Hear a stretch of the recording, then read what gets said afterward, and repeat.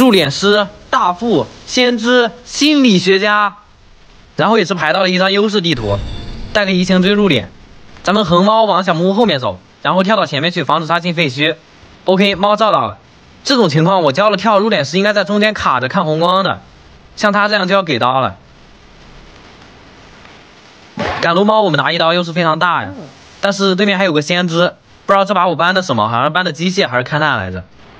入殓师创他直接跑路了，那我们放个横猫朝两个板子走，这波也是赶路猫啊，那能咬到就咬到，咬不到拉倒了。这还真就咬到了，好像有机会啊，这是个大猫圈。可惜叫鸟了，鸟不掉。入殓师两腿一蹬，直接找心理去了。这边我不放横猫，主要是怕心理把我猫吃了。如果晕不住入殓的话，那移形不能稳带走它。还好入殓师给机会了，往后走了又回来翻窗。不是，等会儿我没交技能，你敢直接反啊？原来是二挂师。那两个猫晕直接带走了。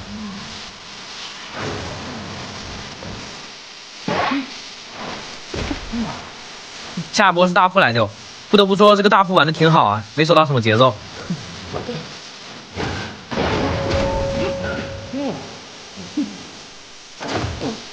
这个点我有二阶入殓师往哪转都死了。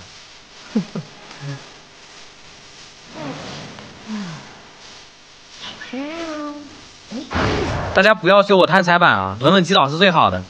你像这里，还好对面上台飞龙我防到了，不然得不偿失，白丢节奏。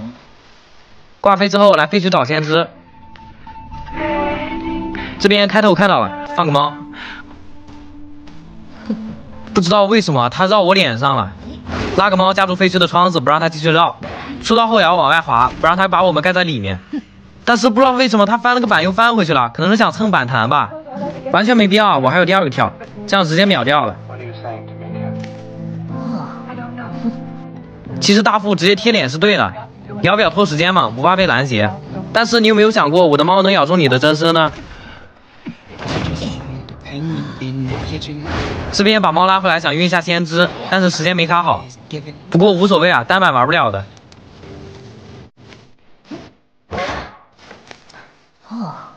哼这波挂上电机不够，他们直接摆了，救都不救了。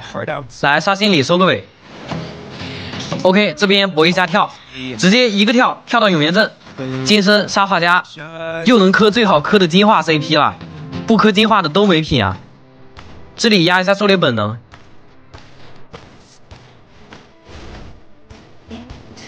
我跟你们说啊，画家这个画他是画的越多晕的越久。这波我们直接放猫，他能放话的时候我们刚好贴近，而且这是一个短话，两个晕直接抵消。这波金身好了。他不交话，我们就不跳。如果刚好跳的时候交话被打断了，那就拿不到刀了。但是对面直接翻窗，那没事了，金身都省了。哼一挂手持平平无奇，我就不放了。这里猫出去想封金手的电击，大副刚好过来了，我不管，我就直接炸，爱打到谁打到谁。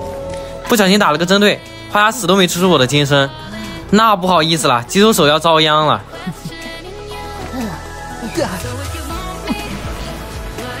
击球手，我来啦！两跳跳到脸上，拉猫封出毒洞，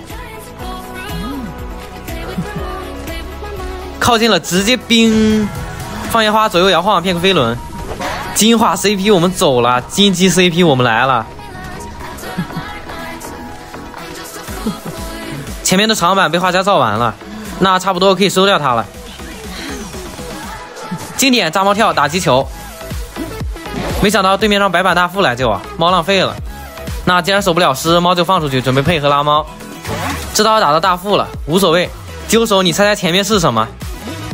把大猫圈拉回来，再躲一个爆发球，拿下。